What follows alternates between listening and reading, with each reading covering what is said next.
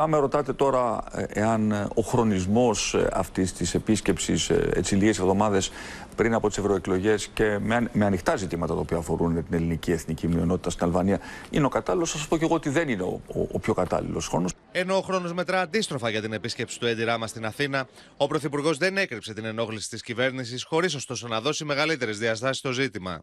Κανείς δεν θα απαγόρευε ποτέ σε έναν ξένο ηγέτη να έρθει και να κάνει μια ιδιωτική επίσκεψη στην χώρα μας για να μιλήσει στους ομοεθνήσου.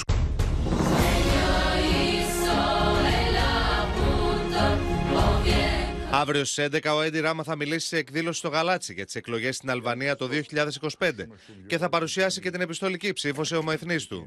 Είναι μια επίσκεψη η οποία, όπως ο ίδιος έχει διαμηνήσει, είναι καθαρά ε, για δικούς του πολιτικούς λόγους. Δεν αφορά καθόλου τα εσωτερικά θέματα της Ελλάδος, δεν έχει καμία σχέση και φυσικά δεν συνομιμωτεί κατά της Ελλάδος. Η συγκέντρωση θα γίνει στο Christmas Theater με τη σκηνή του χώρου να δίνεται στα χρώματα της σημαίας τη Αλβανίας. Ο χώρος νοικιάστηκε από την Αλβανική Πρεσβεία, όπως φαίνεται στο συμφωνητικό με τον διαχειριστή, με τη σχετική σύμβαση να λήγει στις 7 το απόγευμα της Κυριακής. Η σκηνή του Christmas Theater ετοιμάζεται για την ομιλία του Εντιράμα αύριο το πρωί στις 11. Εκτιμάται ότι θα συγκεντρωθούν 5 έως 6.000 Αλβανοί, ενώ η εκδήλωση αναμένεται να ολοκληρωθεί το απόγευμα με χορούς και τραγούδια από Αλβανούς καλλιτέχνες.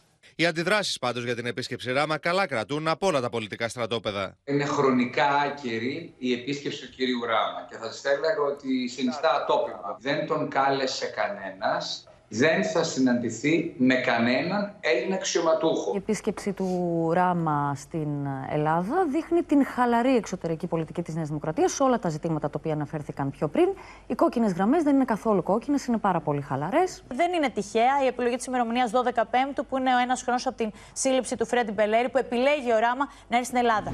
Η ημερομηνία που επέλεξε για την επίσκεψή του στην Ελλάδα ο κύριος Ράμα είναι οπωσδήποτε προκλητική. Αυτό που δεν λέει ο Πρωθυπουργός είναι ότι η έλευση ράμα είναι παρέμβαση σε ευρωεκλογές.